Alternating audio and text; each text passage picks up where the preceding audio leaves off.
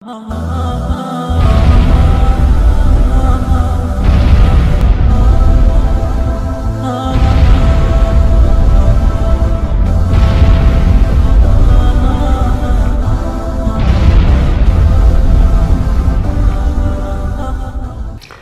میرے بھائیو، اگر اللہ راضی ہے تو اللہ کی قسم موت سے خوبصورت کوئی تحفہ نہیں۔ حضرت عمر بن عبدالعزیز بیالیس سال عمر ہے، جوانی، اور تین بر اعظم پر حکومت، تین بر اعظم۔ ہمارے علاقے میں دیپال پور، کشمیر تک، ادھر سینیگال چوڑ تک، ادھر جنوبی فرانس تک، اور ادھر استنبول کے دروازوں تک۔ اور یہ واحد بادشاہ ہیں، خلیفہ ہیں۔ جن کے دور میں کوئی بغاوت نہیں ہوئی۔ باغیوں نے بھی تلواریں پھینک دی کہ اس بندے نال نہیں لڑنا۔ ان کے عدل و انصاف نے بڑے بڑے باغیوں کی گردنیں چکا تھی ان کے باپ دادے سے وہ لڑتے چلے آ رہے تھے۔ ان کے سامنے تلواریں ڈالتے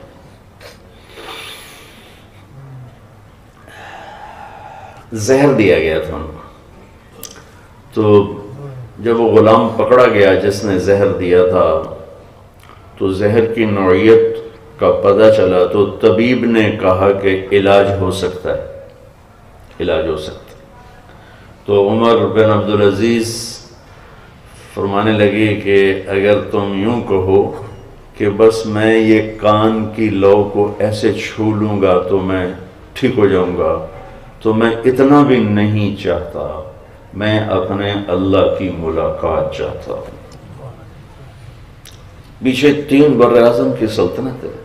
عمر بیاسی سال نہیں، بیالیس سال عمر ہے۔ اور پور جوانی۔ اور کوئی باہی نہیں پوری سلطنت میں۔ اور بیت المال کا خزانہ بھرا ہوا ہے۔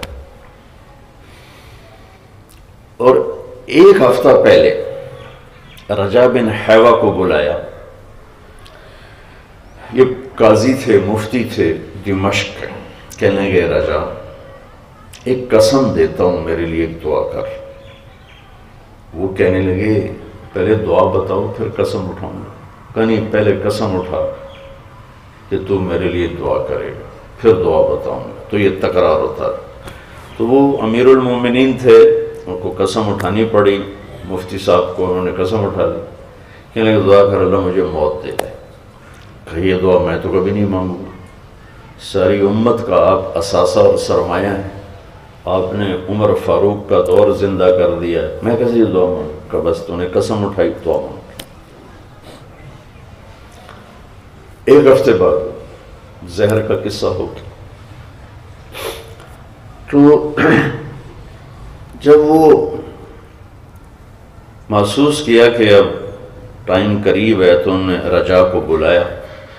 مفتی صاحب، کہا کہ دیکھو، میں نے تین بادشاہوں کو اپنے ہاتھوں سے قبر میں اتارا۔ خلفاء، تین خلفاء۔ عبد الملک بن مروان،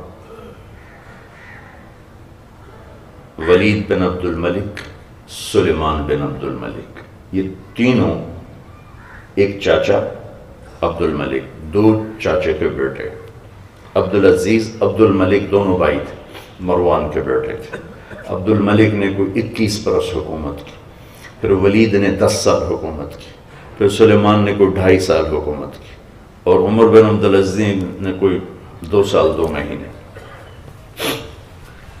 کہنے کہ میں نے ان تینوں کو قبر میں اتارا، اور جب ان کے کفن کی گرہ کو کھول کے دیکھا، تو ان کے چہرے قبلے سے ہٹے پڑے تھے، اور رنگ کالے سیاہ ہو چکے تھے۔ عبد الملک گورا چٹا تھا، ولید ذرا ساملہ تھا اور سلیمان انتہائی خوبصورت نوجوان تھا۔ تو کہ تینوں کے رنگ کالے اور چہرے قبلے سے ہٹے ہوئے تھے۔ چہرے سے تو بہت کم لوگ، قبلے سے چہرے کا ہٹنا بہت کم لوگوں کو ہوتا تینوں کے ہٹ گئے۔ تو دیکھو، میں جا رہا ہوں، تو دیکھنا کہ میرے ساتھ اللہ کیا کرتا ہے۔ سلیمان بن عبد الملک کی میت کو جب قبر کے قریب کیا گیا اتارنے کے لیے، تو اس کا جسم ہلنے لگا۔ تو اس کے بیٹوں نے کہا کہ ہمارا باپ زندہ ہے۔ ویسی بے ہوش تھا سکتا تھا۔ تو عمر بن عبدالعزیز نے فرمایا کہ، بھتیجو، زندہ نہیں تھا، عذاب قبر جلدی شروع ہو گیا ہے۔ بل عجل اللہ بالعقوبہ۔ قبر کی پکڑ پہلے شروع ہو گئی ہے۔ جلدی سے چھپاؤ اپنے باپ کو۔ ان تینوں میں ایک مشترک جرم تھا۔ میں آج ان کو تیرہ سو سال ہو گئے ہیں مرے ہوئے۔ میں قسم اٹھاتا ہوں، یہ پکے نمازی تھے۔ یہ تہجد گزار تھے، یہ روزے دار تھے۔ یہ حج کرتے تھے۔ ان میں سے کوئی زانی نہیں تھا، کوئی شرابی نہیں تھا۔ کسی کی آنکھ میلی نہیں تھی۔ صرف ایک ان کا کام تھا۔ یہ ظالم تھے۔ انہوں نے حکومت کے لیے ظلم کے پہاڑ توڑ حکومت سے اللہ تھوڑا ہی روکتا ہے، ظلم سے روکتا ہے۔ سیاست سے تو نہیں روکتا، ظلم سے روکتا ہے۔ تو پرچہ دے دیو، انہوں اندر کر دیو۔ انہوں دی نالی نہ بڑھن دیو، ووٹ نہیں دیتا۔ انہوں دی سڑک نہ بڑھن دیو سڑا ساتھ نہیں دیتا۔ یہ ہمارے سیاستدان ان چھوٹ چھوٹی باتوں پہ پکڑے جائیں گے۔ کیونکہ میرے نبی نے فرمایا، ظلم سے بچنا، ظلم بہت بڑا اندھیرا ہے قیامت کے دن اور مظلوم، بھائیو، مظلوم ایک ہی قوم ہے پوری دنیا میں۔ وہ مسلم ہو، وہ مشرق ہو، وہ ہندو ہو، وہ سکھ ہو، وہ تحریہ ہو، وہ عیسائی ہو۔ اگر وہ مظلوم ہے تو اس کی دعا اللہ کے عرش کو ہلائے گی۔ مظلوم ایک ہی قوم ہے اللہ کی بارگاہ اور ظالم بھی ایک ہی قوم ہے اللہ کی بار وہ مسلم ہے، وہ مشرق ہے، وہ مومن ہے۔ وہ دہریہ ہے، وہ غیر مسلم ہے۔ اگر وہ ظالم ہے تو ایک قوم ہے۔ اللہ کا غیبی نظام اس کے خلاف ضرور چلے گا۔ ضرور چلے گا اللہ کے نبی کا فرمان ہے، دو چیزوں کو اللہ دنیا میں دکھا دیتا ہے۔ باقی ساری چیزیں مؤخر کر دیتا ہے، لیکن دو چیزوں کی جزا دنیا میں دکھا دیتا ہے۔ اصل تو آگے ہے، دو چیز۔ ایک ماں باپ کی نافرمانی اور ایک ظلم۔ ظلم اور ماں باپ کی نافرمانی۔ یہ دو گناہ ایسے ہیں جن کا ذائقہ دنیا میں بھی کچھ چکھنا پڑتا ہے اور اگلا پھر اس کے حساب سے۔ یہ ظالم تھے۔ ولید بن عبد الملک، تہجد میں تہجد میں دس سپارے کھڑے ہو کے پڑھتا تھا۔ روزانہ تین دن میں قرآن ختم کرتا تھا۔ حجاد بن یوسف تین دن میں قرآن ختم کرتا تھا۔ تہجد میں کھڑے ہو۔ ساڑھے کو بہ کے نہیں دا سپارے پڑھے جان دے کھلو کے نفلیں پڑھ دیں آئیں لیکن وہ اللہ کی پکڑ کا شکار ہو گئے ظلم کی وجہ سے، ظلم کی وجہ سے۔ مجھے ایک سیشن جج کہنے لگے کہ مولانا صاحب، ہمارے دیس میں عدالت کے نام پہ جو ظلم ہے، باہر اس کی کسی کو خبر ہی کوئی نہیں کہ یہاں کتنا خوفناک ظلم ہو رہا ہے۔ عدالت کے نام پر، جج کے نام پر، وکیل کے نام پر، گواہوں کے نام پر جو ظلم ہو رہا ہے۔ عمر بن عبدالعزیز نے رجا سے کہا کہ دیکھنا میں جا رہا ہوں، میرے ساتھ میرا اللہ کیا کرتا ہے۔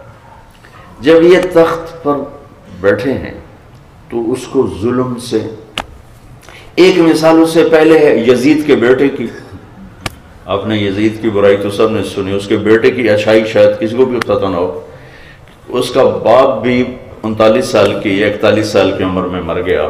اس اپنے بیٹے کے لیے تین بر اعظم کی حکومت چھوڑ کے گیا۔ اور اس کے بیٹے کی عمر تھی جب وہ حکمران بنائے بائیس سال۔ پاگل پن کی عمر۔ اور سارے دشمن اس نے کاٹ لیے۔ اور ساری زمین اس نے ہموار کر دی۔ اور اس نے صرف چالیس دن حکومت کی، اس کا نام تھا معاویہ بن یزید رضی اللہ عنہ، میں اس کو کہتا چالیس دن کے بعد بنو امیہ کو کٹھا کیا۔ اور اس کی تقریر سنو، سبحان۔ کان ابھی جبارن میری قوم، سنو، میرا باپ ظالم تھا۔ پھر اس پر کئی دفعات لگائے۔ اس نے اہل البیت کا خون بہایا۔ اس تخت کی خاطر۔ جس تخت کے نیچے اہل البیت کا خون ہو، میں اس تخت پہ لانت بھیجتا ہوں۔ یہ ہے تمہاری حکومت جس کو مرضی دے۔ حکومت چھوڑ دی۔ حکومت چھوڑ دی۔ ساڑھا ناظم ناظم نہیں چھوڑ دا سو ظلم کر ہے کہ ناظم بن جاؤں۔ یہاں تو وزیروں کو ذلت و خواری دیکھنی پڑی تو ناظم نو کہیں لکھنا کسے کھاتے چھ لیکن بس لگے ہوئے گئے ایمان بکے عزت بکے جو مرضی ہو جائے، کرسی لگ جائے۔ ساری حکم چھوڑ دو۔ کہیے تمہاری۔ اور گھر میں داخل ہوا پھر جنازہ اٹھا ہے۔ اس طرح اپنے اللہ کو راضی کیا کہ تین بر اعظم کی سلطنت کو ٹھوکر مار دے۔ دوسرا عمر بن عبدالعزیز کا واقعہ ہے، ایک ہی خان شاخ الگ ہو جاتی۔ ان کی جو بیگم ہے فاطمہ بنت عبد الملک یہ سیاسی لحاظ سے آج کے دن تک، آج کے دن تک دنیا کی سب سے بڑی عورت ہے، سیاسی لحاظ سے، کہ اس خاتون کا دادا بادشاہ بنا، باپ بادشاہ بنا، خامد بادشاہ بنا اور چار بھائی بادشاہ بنے۔ اور اس نے سب کے حکومت دیکھی، سب کی۔ ہشام کے زمانے میں فوت ہوئی ہشام اس کا۔ بھائی تھا جو آخری بادشاہ بنا۔ یہ عورت سات نسبتوں سے شہزادی اور ملکہ تھی۔ اور عبد الملک اس کو موتیوں میں، ہیروں میں تولتا تھا۔ لیکن جب حضرت عمر خلیفہ بنے تو فاطمہ کو بلا کر کہا کہ فاطمہ، دیکھو، اب میں تیرا حق ادا نہیں کر سکتا۔ تو اگر طلاق لینا چاہو تو لے لو، کیونکہ آخرت کا معاملہ بڑا سخت ہے۔ اور اگر ساتھ رہنا ہے تو پھر تجھے اپنا حق معاف کرنا ہوگا تو فاطمہ نے کہا، امیر المومنین، میں نے سکھ کے دن تیرے ساتھ گزارے ہیں۔ میں مشقت میں تجھے چھوڑ کے کبھی نہیں جاؤں گی۔ میں تیرے ساتھ ہوں۔ کہا پھر ٹھیک ہے، جتنا عبد الملک نے تمہیں زیور ڈالا، سارا واپس کر۔ ولید نے، سلیمان نے، بھائی تھے سارا لے کر بیت المال میں جمع کروایا۔ جب یہ امیر گورنر مدینہ تھے، گورنر مدینہ، تو ساٹھ اونٹوں پہ ان کا سامان آتا تھا، ساٹھ اونٹوں پر جب یہ سفر کرتے تھے، جب یہ مر رہے تھے، انتقال فرما رہے تھے، تو ان کے سالے ہیں مسلمہ بن عبد الملک، وہ ملنے آئے۔ حال پوچھنے تو بہن سے کہا کہ امیر المومنین کا کہ کپڑے میلے ہو چکے ہیں، تبدیل کروا دیں کروا دیں اگلے دن ملنے آئے تو پھر وہی کپڑے تھے۔ تو کہنے لگے، فاطمہ، میں نے کہا تھا، کپڑے تبدیل کروا دو، کافی میلے ہو چکے ہیں۔ تو بہن ان کی رونے لگی کہ کہاں سے تبدیل کراؤں؟ ایک ہی جوڑا۔ ایک ہی جوڑا ہے۔ یا تین ور اعظم کی سلطنت، اور ادھر ایک جوڑا کپڑا۔ گورنر ہیں تو ساٹھ اونٹوں پہ سامان آتا ہے، اور امیر المومنین ہے تو ایک جوڑا ہے۔ دنیا سے جاتا ہے عید کے موقع قریب تھا تو بچوں نے مطالبہ کیا ماں سے کہ امیر المومنین سے کہو ہمیں بھی ایک ایک جوڑا لے کر حضرت عمر گھر میں تشریف لائے تو بیگم نے کہا کہ بچے کپڑے مانگ رہے ہیں۔ ایک تنخواہ مقرر کر لی تھی، وہ لیتے تھے اس سے اوپر نہیں لیتے تھے۔ پہلے بادشاہوں نے بیت المال ذاتی بنا کے لوٹا تو تو عمر فرمانے لگے کہ فاطمہ تمہیں تو معلوم ہے پیسے ہی کوئی نہیں اس تنخواہ میں کپڑے کہاں سے لے کر؟ پیسے ہی کوئی تو اب دونوں میاں بھی, بھی سر جوڑ کے بیٹھے ہوئے ہیں کیا کریں؟ یہ وہ مقام ہے جہاں والدین جھوٹ پہ چلتے ہیں رشوت پہ چلتے ہیں ہیرا پھیری پہ چلتے ہیں قبضے گروپ بنتے ہیں۔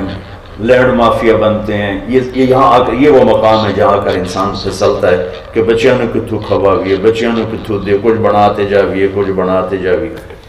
یہ وہ پوائنٹ آ چکا تو حضرت فاطمہ کہتی ہیں کہ آپ ایسا کریں کہ اگلے مہینے کی تنخواہ ایڈوانس لے لیں، اس سے میں کپڑے سی لوں گی۔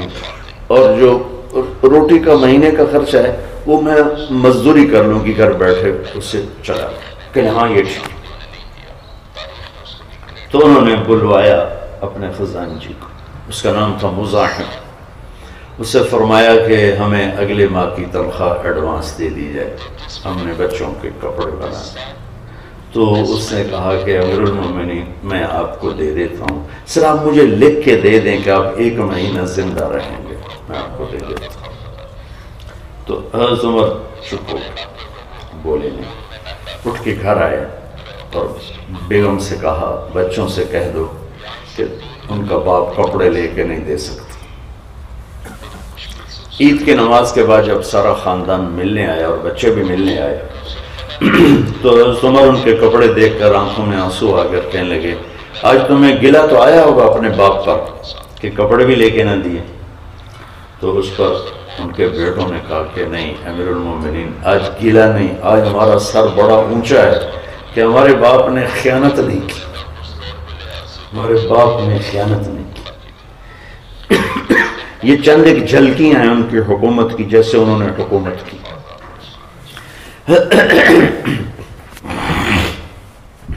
اب اس کا انجام آ رہا ہے۔ اب یہ دنیا سے جا رہے ہیں۔